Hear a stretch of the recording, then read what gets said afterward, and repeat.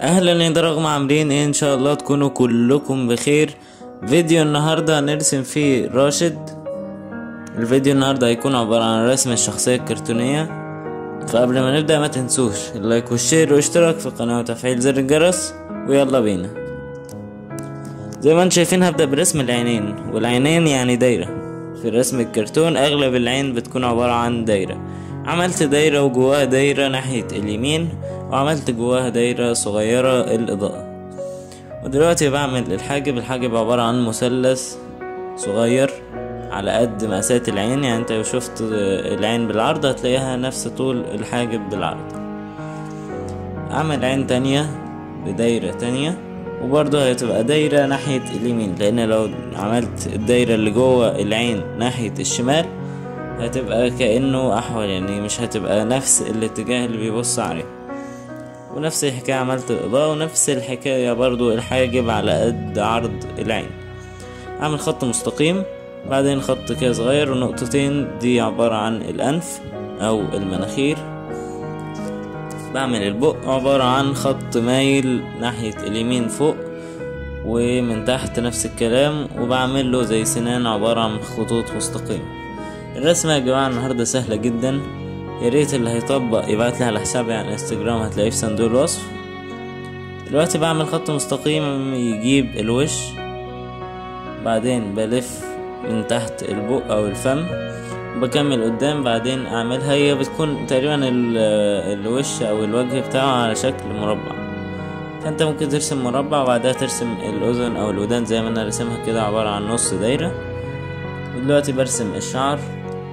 بالطريقة دي بعمل خط مايل ناحية الحاجب. زي ما أنتم شايفين كده. وبعدين بعمل زي القصة بتاعة الشعر أو طريقة التسريح بتاعة الشعر. عبارة عن زي بصيلات شعر كده نازلة على العين وعلى الحاجب. زي ما أنتم شايفين أهو بالطريقة دي. الموضوع سهل جدا على فكرة. بعدين بعمل ال ال الشعر من فوق. بعمله كده عبارة عن زي شعلة أو مثلثات كده عبارة عن مثلثات. الشعر بيكون عبارة عن مثلثات. زي ما أنتم شايفين بالطريقة دي. يبقى الوجه بتاعه أو الوش عبارة عن مربع. الشعر عبارة عن مثلثات. الحاجب بيكون عبارة عن مثلث هو كمان. هنا ببدأ أعمل زي, زي ربع دايرة ربع دايرة كده كده عشان أجيب السمك بتاع الشعر. هيكون الشعر كثيف ولا قصير. بعمل التجويف بتاع الأذن أو الودان عبارة عن كده زي شكل السنة أو شكل الضرس. دي خطوط توضيحية مش أكتر بس عشان أعرف أفرق في الشعر. عشان ما يبقاش الشعر كله سايح على بعضه كده. دلوقتي هنرسم الرقبة الرقبة طبعا في الكرتون بتبقى صغيرة أصغر من الوش. الطريقة دي بعدين بعمل خط مايل كده على أساس إنه كتف. وبعدين بعمل خط مستقيم بقية الجسم. دلوقتي هعمل نفس الكلام الناحية التانية الكتف وهمشي خط مستقيم. هنا هقوم أفصل بقى الدراع. الدراع عبارة عن خط مستقيم وهيكون مايل شوية كده. هنا هنعمل صوابع الإيد. عبارة عن زي برضو مثلثات أربع مثلثات كده هتعملهم جنب بعض هيعملوا الصوابع الطريقة دي. بعدين بنعمل الكوع أو الدراع بتاع الشخصية. أهو زي ما أنتم شايفين كده. الطريقة دي بعملها عبارة عن خطوط مستقيمة الكرتون بيكون عبارة عن أشكال هندسية في أغلب الأحيان. أنت بتشوف الوش لازم يا إما يكون عبارة عن دايرة يا إما هيكون عبارة عن آه مثلا آه قطرة أو هيكون عبارة عن آه مربع دايرة قطرة المثلث بيكون وش معروف. بس وبعمل شكل الجلابية أو التوب الإماراتي وبس دلوقتي بقى هبدأ في مرحلة التلوين مرحلة التلوين هنستخدم البني والسيموني أو لون البشرة بس مش أكتر. البني هيبقى للشعر السيموني هيبقى للبشرة. وهنستخدم طبعا اللون الأسود ده أكيد. لو ما عندكش لون أسود بالقلم الرصاص عادي مش هيف مش هيفرق قوي أو ممكن تستخدم قلم حبر أسود جاف. بنلون الوش وال زي ما أنتم شايفين بنلونه بالسيموني. بنلون طبقة خفيفة بعدين بنبدأ نتقل واحدة واحدة بالتدريج.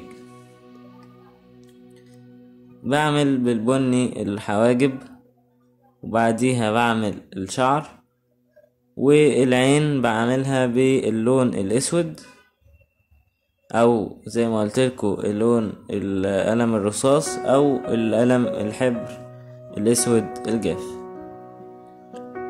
بس الموضوع سهل جدا جدا مفيهوش أي حاجة يكون بس عبارة عن إن أنا بلون الشعر والبني ده طلع فاتح فأنا بستخدم بالقلم الرصاص وأقوم جايب القلم الرصاص وأشتغل على الشعر تاني عليه عشان أغمقه وبسيب أماكن للإضاءة. والعين عبارة عن أسود وفيها لمعة اللمعة البيضة اللي هي الدايرة الصغيرة اللي جوه العين دي طبعا بسيبها عشان هي اللي هتديني واقعية شوية. وبيبقى فيه كده لمعان بني في العين من تحت. البق التجويف بتاعه بيكون أسود برضو بالقلم الرصاص أو بالقلم الحبر الجاف أو بألوان خشب أسود. وبتقل بالسيموني بعد ما أخلص أشوف أماكن الظل في البشرة. السيموني اللي هو لون البشرة أو ال flesh أه بتقل بيهم الوش. وبعمل ظل بالرصاص خفيف في الجلابية في الآخر خالص بعد ما أخلص.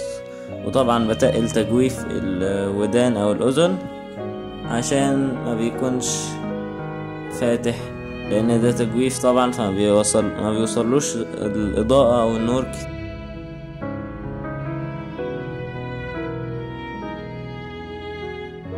طبعا كده مفيش حاجة خلاص تاني الباقي إن أنا هلون. شوفوا طريقة التلوين.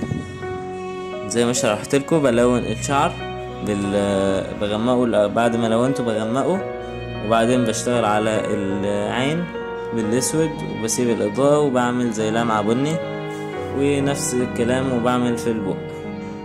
بس أشوفكم الفيديو الجاي ومع السلامة.